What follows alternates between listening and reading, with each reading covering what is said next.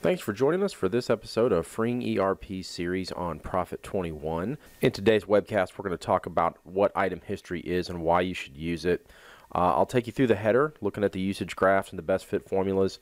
We're going to talk about what each field in the detail section means. Uh, we'll go through the history drill down feature, and then we'll also talk about the concept of filtered versus actual usage. First, it's important to understand why you would want to even use item history to begin with. When you're using advanced forecasting, or really any type of forecasting, your usage history needs to be pristine. And Jon Schreibfeder at Effective Inventory Management, I thought, always did a great job of describing what usage is.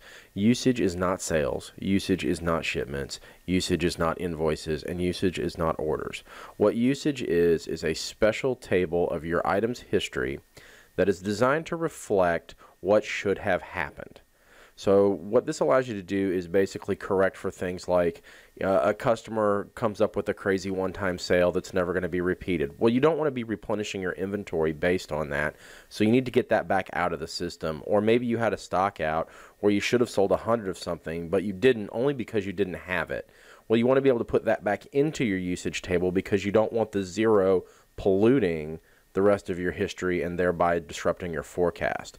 So having a dedicated usage table actually gives you the ability to do that. So in P21, item history is where you can make these corrections to deal with things like unusual usage and smoothing out the forecast based on what should have happened rather than what actually did happen. Let's go ahead and get into our item history screen.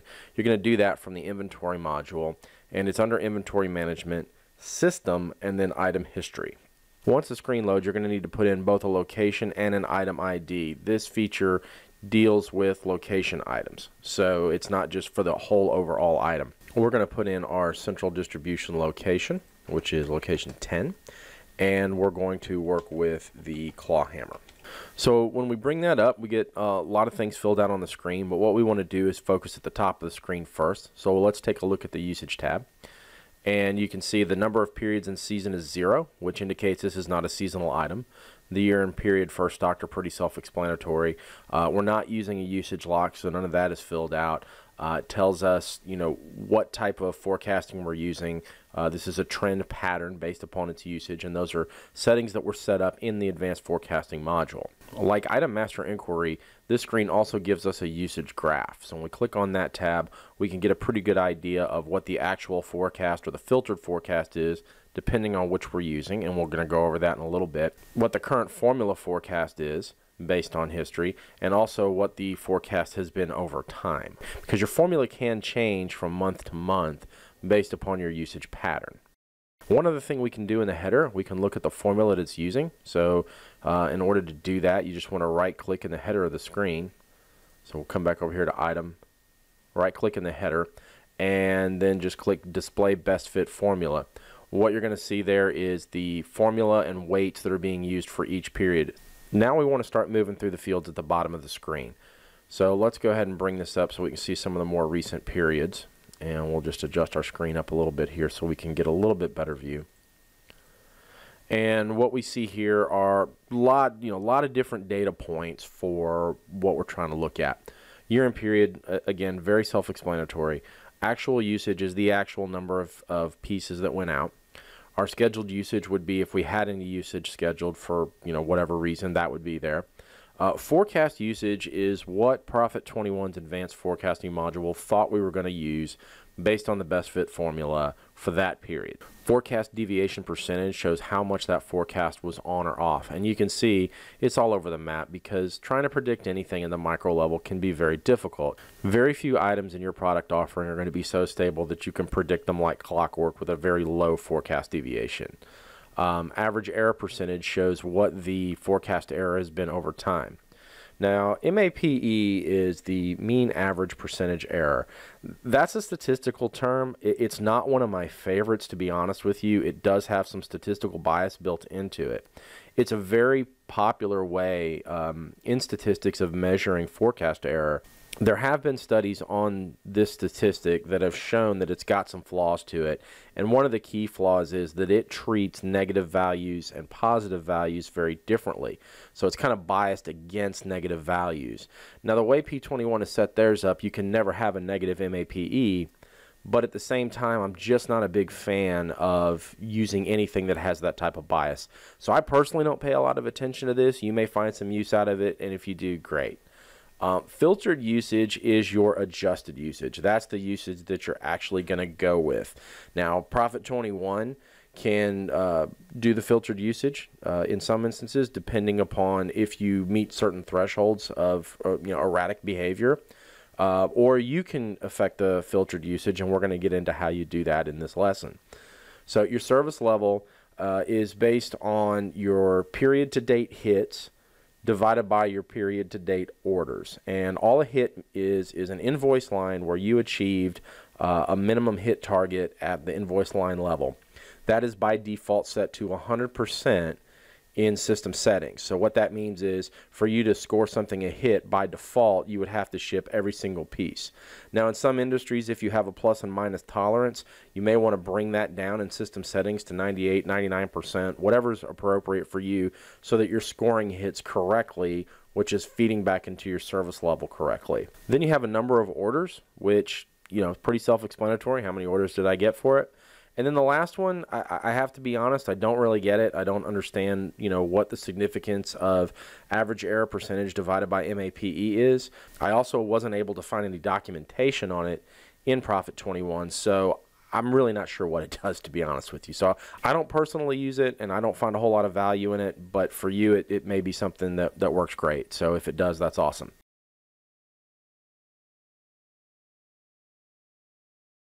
Now that we've been through all the fields, let's start talking about how we really affect these things. For all of the data on this screen, you can really only affect a couple of things. Uh, there's two ways to do it. Number one, you can just put in a filtered usage. So if we say in uh, 9 of 2016, we'll just take the top period here, if we had 6,295 units sold, but we know we were stocked out and we should have sold 10,000 units, then you can just very easily come in here and say, okay, well, I want the filtered usage to be 10,000. You can see that the edited flag automatically turns on. And what you want to do anytime you edit one of these is go ahead and click the recalculate checkbox and then the recalculate button and let these calculations go ahead and, and update themselves, and then you see the flag goes away.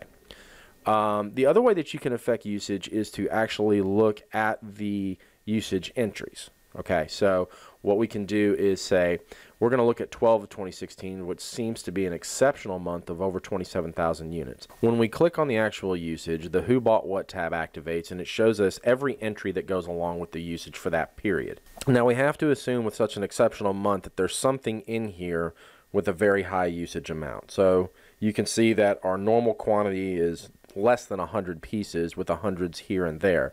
So we'll just kind of start going through here and trying to find the exceptional one. And here we go. We find it order number 1387030 seems to be very exceptional at 25,000. Now that was just a one-time buy or something that's never going to happen again. And what we want to do is get that particular one out of the system.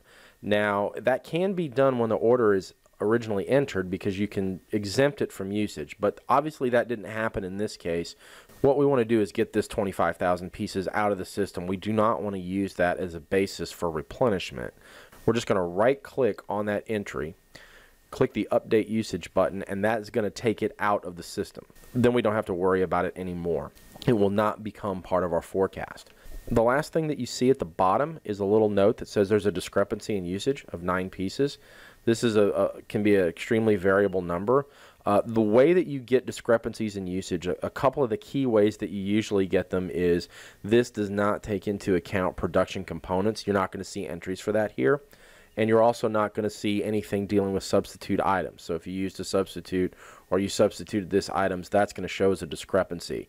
So if you need to get those out of the system, the best thing to do is go back over to the history tab and just simply filter that usage right out and you're good to go once you're done editing your item history, if you want to update the forecast, you need to go and execute a reforecast, and that's done in demand year maintenance. We have another video on that, so you're free to go watch that and you know see exactly how that process works.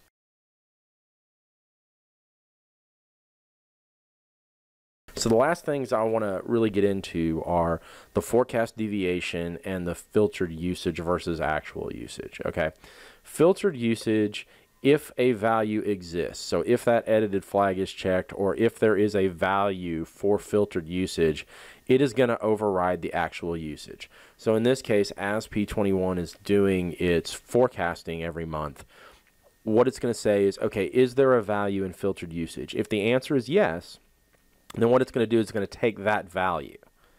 If the answer is no, then it's going to take the actual usage value. So that's how you can kind of keep up with which usage is actually being utilized by the system to generate the forecast. It's always filtered first. If there's no value in filtered, then it's going to default back to actual usage and assume that everything that's in there is supposed to be there. The last thing I want to cover is forecast deviation percentage, only because this is a sort of a near and dear to my heart issue. Um, I use a different formula for forecast deviation. And the formula that I use, uh, again, comes from Effective Inventory Management.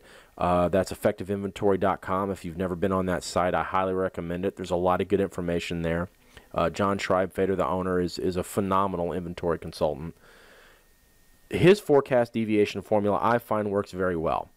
And the way his formula works is the absolute value of the forecast minus the actual value. So it's always a positive number because you're taking an absolute value and then take that number and divide it by the lower of the actual or the forecast. And when you're using that formula, what you want to look at is is my forecast deviation less than 35%? Now, using this formula where it's got negatives and, and positives, to me, that's a little bit harder to read. And it's a little harder to keep up with. If the forecast is 25% low or 25% high, to me, it's still off by 25% the direction to me doesn't really matter that much. So um, that's just my recommendation. You could absolutely Dynachange this and drop in a calculated field. That's all we've got for today. Uh, really appreciate you uh, sticking with us and watching this video. And we look forward to seeing you next time on Freeing ERP.